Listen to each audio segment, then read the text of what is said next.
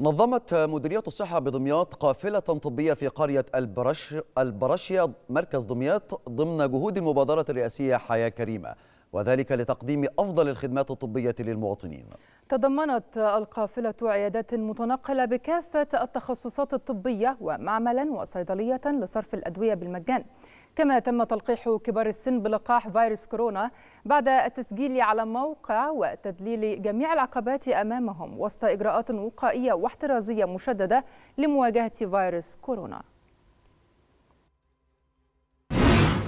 القافلة الطبية النهاردة موجودة بقرية البراشية مركز فرسكور وضمن مبادرة حياة كريمة اللي بتمثل فيها القوافل الجزء الصحي من المبادرة الرئاسية قرية البراشية إحنا كنا موجودين فيها من فترة قريبة وبناء على البيانات اللي إحنا طلعناها من من القافلة اللي فاتت قدرنا نحدد احتياجات المواطنين من الناحية الصحية والخدمات نقدر نوفرها لهم في القافلة.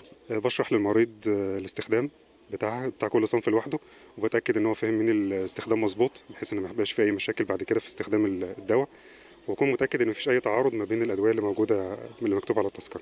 القافلة الطبية بتقدم أكثر من 12 تخصص بتقدم كمان خدمات الأشعة والتحاليل لخدمة التخصصات الموجودة. في عندي كمان الصيدلية فيها أكثر من 120 صنف.